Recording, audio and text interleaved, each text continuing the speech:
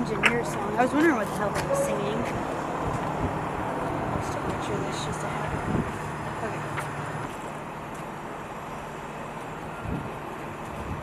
Okay. The Adjutant General for the State of Delaware. So, step out here. So this is the Delaware state flag, Governor, Senator, that was flown overseas by the unit during the, their tour, during their deployment. And they have all signed it and have presented it to us as an organization in, in appreciation for the support that they received from everybody in this room. So to all of you, Commander, thank you so much for this, for this flag. It will be proudly displayed within our Joint Force headquarters. Opportunities to thank you, the soldiers. And I was honored to be joined by a bipartisan congressional. You do not try, you do. You execute, you deliver. My own brother, who was a tanker, was an armored officer, often would remind me.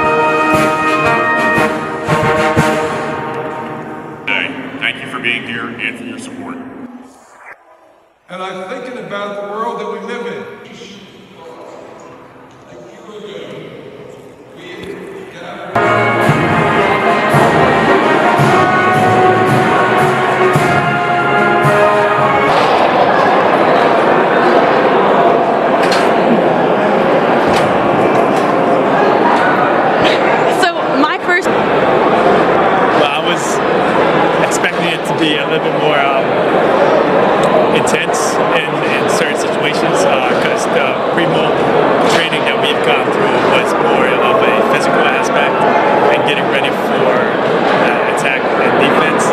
And then when we finally got there, it was geared towards nothing but construction projects, constantly building.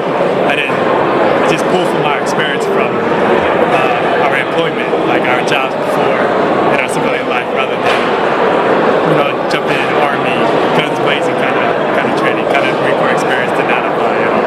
The, my favorite part of the deployment was after the work was done. After we got the mission, it was just me, my brother, we were just hanging out, enjoying the little things in life, the gym most of the time. And then we got back the next day, right straight back to work. It was just fantastic. what's your favorite part about being back from both of you? Favorite part? I guess seeing the yeah, family, friends, girlfriend, significant other. She got uh, engaged uh, as soon as she got back, so I have a future sister-in-law now. So, but I see family and friends is much oh, That's like, what's going on? it takes a lot. Yeah, it made it a lot easier, you know, knowing to have someone right next that you know for certain that's just going to be taking care of you, making sure you're alive, your well-being. I mean, everyone else did it, but to know that no one brother did it. Yeah. I always text them like, "Hey man, it's time to eat. Let's go eat." Every time, You know, I, I don't know. dinner. Let's go eat dinner. It's time. And there's like a, I don't know, the alarms that goes off and stuff, protects each other. No, bro, you're in the bunker, you you good, stuff like that. Yeah, you're it doesn't happen often, but you always have to make sure. B R I S I L L A.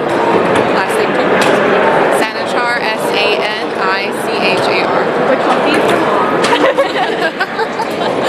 Um, my name is Libby, L I B B Y, Reiner, R E I N E. Libby's your like full My government name is Elizabeth. Lots of emotions, like so happy. Like it was the hardest 11 months of my life. So cried. It was um, them coming home. It was I like just talking about it makes me want to cry. Like when I saw my boyfriend, I was just like, oh my gosh, it's you. And then when I saw his brother, that's when I started crying because it was just it like meant so much that they were both home and they were safe. We're just grateful to have them safe. At first, I was very nervous, but I took advantage of a lot of opportunities that was handed my way.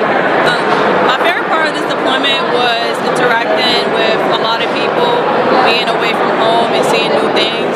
I was able to take advantage of the education programs they provided us, and I really had fun. My favorite part of being back at home, I would say, is being back with my family and being back to myself and the food. We also appreciate the members of our military family and all of our supporting agencies, the groups, and the associations who are with us, as they always are, to express our gratitude to our warriors as they answered our nation's call.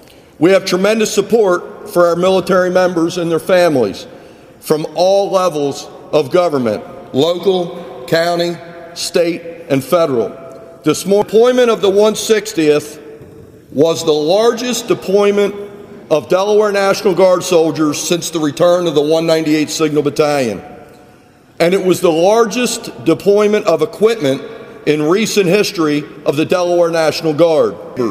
And we wish the unit well as they departed with over 150 of our best. Now, 44 of these soldiers, which is almost a third, transferred into the unit and reclassified their military occupational specialties in order to be a part of this team. A year ago, we gathered here to send this unit overseas. This, whenever I ask for your help, the Guard is always there. One of Berry mentioned all the awards and recognitions that they received, and I went through that list, Commander Mears, and just incredible. And to you, First Sergeant Beauchamp, thank you for your leadership. Thank you for bringing them whole. This is a dangerous world that we live in. And you've brought them all home for their families and for the rest of us. Families know this. But I wish every Delawarean knew how many of you tried to be a part of this, have succeeded as a part of this, and have put your whole heart and life at risk to be a part of this. You are young, you are diverse, you are dedicated, you are Delawareans. And those of you who aren't Delawareans, I invite you to come and join us in Delaware.